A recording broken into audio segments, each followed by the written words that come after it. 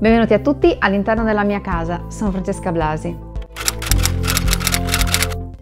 Ho pensato di realizzare questa rubrica per raccontarti un po' quelle che sono state le idee di trasformazione e anche la messa in pratica di quello che ho realizzato all'interno di tutti gli ambienti che vanno a comporre questo spazio. Perché devi sapere che eh, circa sei anni fa, una sera non riuscivo a dormire, mannaggia me,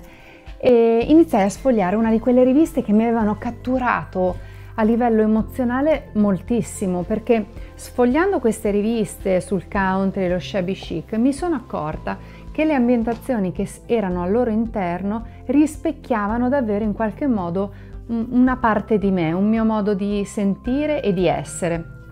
Così guardando quelle immagini ho cercato in qualche maniera di mh, rivederle all'interno dei miei ambienti, ma francamente eh, erano così diversi, così tanto più scuri. Ehm, gli ambienti che vedevano avevano delle atmosfere quasi calde, eh, molto armoniche nelle tonalità, tonalità molto chiare, naturali, eh, colori estremamente mm, come dire, estremamente diversi da quelli che appartenevano al mio ambiente, che era fatto di cotto scuro nei pavimenti, di pareti eh, colorate, ma su quello francamente non trovavo una grande difficoltà nel ridipingere le pareti. Il problema erano proprio i mobili che andavano a comporre lo spazio, che erano veramente in uno stile etnico, quindi estremamente scuri, ehm, giallognoli, insomma uno stile completamente diverso. Ma non ho smesso di eh, sognare e di, di desiderare eh, di vivere in un ambiente di quel genere tanto che francamente non ti nascondo che non pensavo avrei potuto mh, trasformare i miei ambienti come oggi ho, li ho trasformati.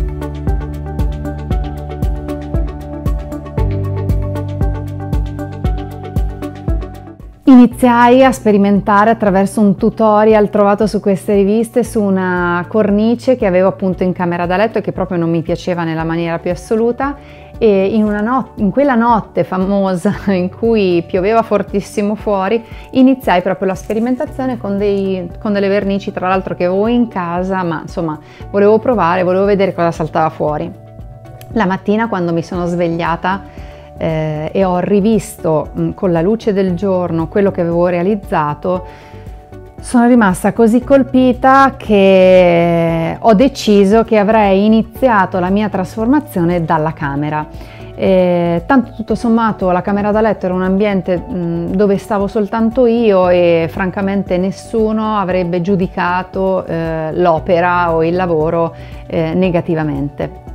La mia paura inizialmente era proprio quella di eh, dell'approccio a mobili grandi, eh, quindi come insomma, scaffalature importanti, come insomma, mh, mm, mobili più importanti che erano presenti e sono presenti qui all'interno magari eh, del salotto. Tanto che questa stanza dove ci troviamo adesso è rimasta mh, mm, quella che ha subito mm, per ultima le trasformazioni che, che poi ho sperimentato all'interno degli altri ambienti.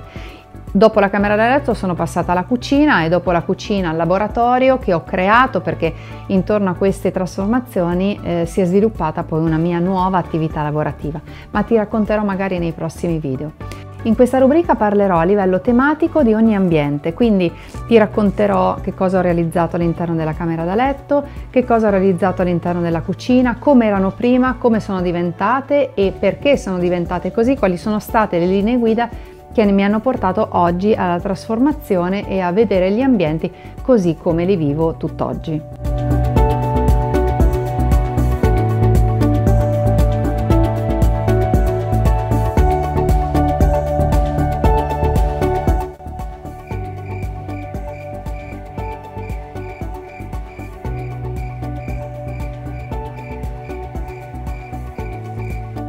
Pubblicherò un video a settimana all'interno qui della mia pagina professionale Arc Francesca Blasi